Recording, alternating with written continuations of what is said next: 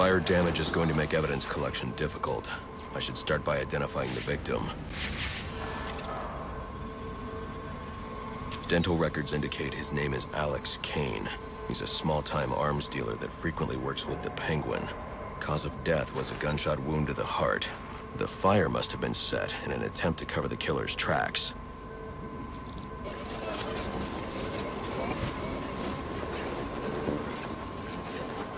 DNA evidence indicates the killer fired from close range.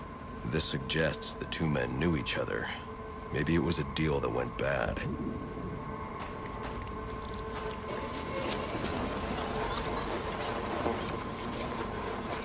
Interesting. The fire was actually started by the victim.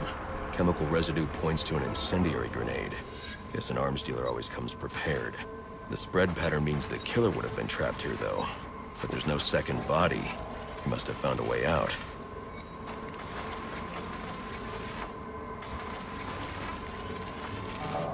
The killer made his way up the wall in an attempt to avoid being overcome. I should follow his route and see where it takes me.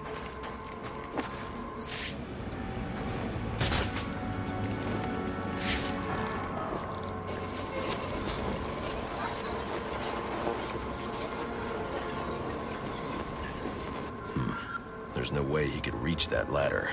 I should review the crime scene to see how he made his escape.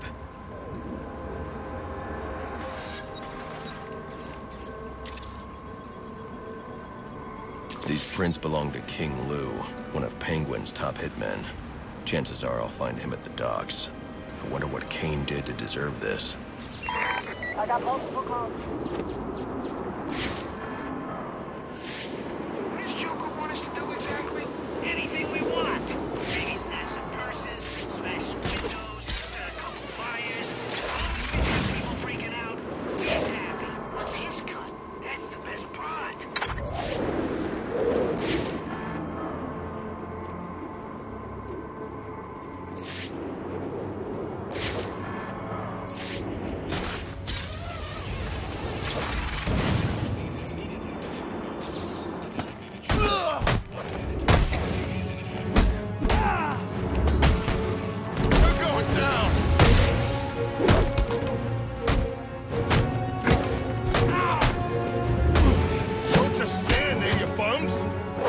Fuck.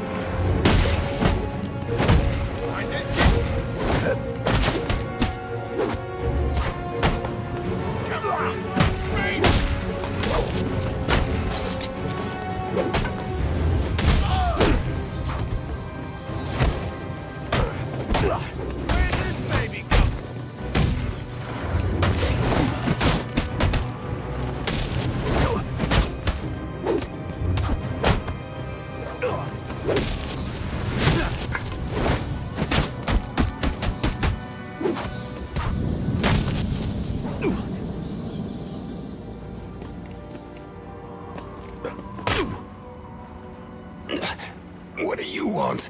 Answers. Did Penguin order you to kill Alex Kane? I don't think so. If anything, Cobblepot's gonna have me killed for doing it. Then why? I was sick of playing heavy. I figured if Kane, you know, disappeared, I might be able to move up in the world. You're not moving anywhere now. Alfred, let the GCPD know where they can find Kane's killer. You can forward them all the evidence, too. It's already done, sir.